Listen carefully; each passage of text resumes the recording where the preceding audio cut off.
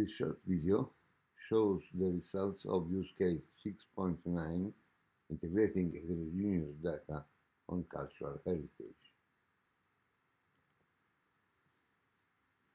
Uh, the use case goal is to integrate cultural heritage text reports with the results of related scientific analysis. The preliminary work consisted in defining a common ontology as a CIDOC CRM extension, in setting up a tool for storing numeric results of scientific analysis of cultural heritage, and in building a tool uh, to annotate text according to the ontology using named entity recognition. Once the tools were available, we carried out separate tests of the two tools on sam samples of uh, data. For the text records, we used archaeological data due to their availability via uh, the REDNet project and its repository.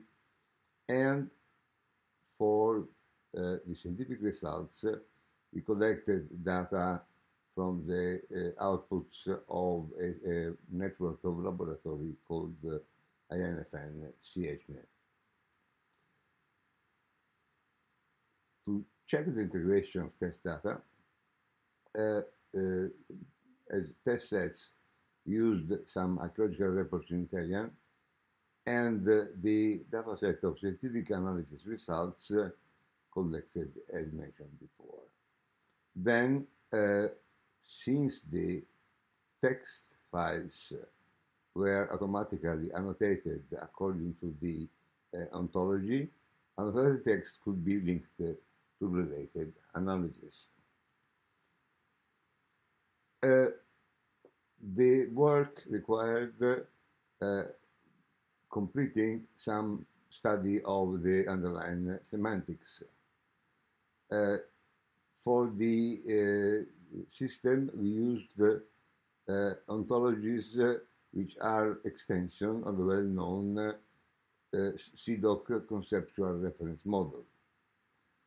For the scientific data, we adopted the specification of the Parthenos entity model, which was created by the project Parthenos, which manages concepts from CRM dig, the extension to digital objects, and uh, specifies better actors involved like people, institutions, and how they organize their work uh, as in projects, uh, sessions, and so on.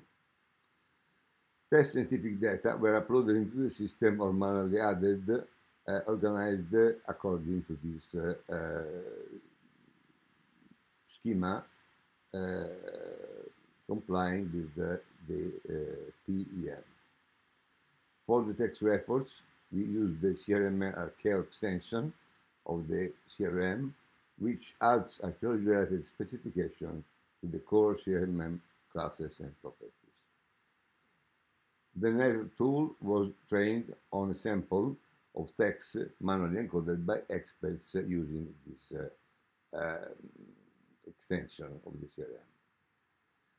This is the result uh, obtained by um, using the uh, named, entity recognition tool on a uh, test file here, after training it with the uh, several uh, files, several reports uh, uh, annotated manually by, by experts, and the, the picture shown here shows the um, text with this annotation in color to evidence to, humans. Actually, it is a JSON, a JSON file which is displayed for the for the sake of uh, visualization, and you can recognize uh, people in the purple uh, um, uh, levels, um, uh, artifacts in the, the dark green levels and uh, time